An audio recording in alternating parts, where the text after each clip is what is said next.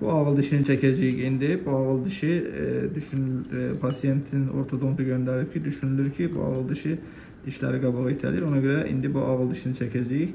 Breketi mən düzməmişəm. Digər yerlərdən gəlmiş pasiyentdir. İndi bunu çəkək, görək. Kifayət qədər də böyük bir dişdir.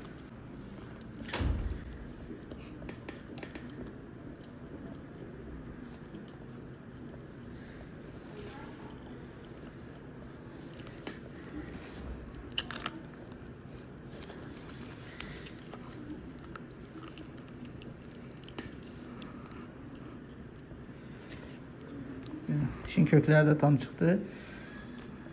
Normal qaydada çıxdı. Siz bizi harda görmüsünüz dedi? TikTok'ta. Falin. Anası deyir ki, TikTok'ta görmüşük. Ağrı oldu mu? Xeyr. Bəs nə idi problem? Niyə qışqırırdın?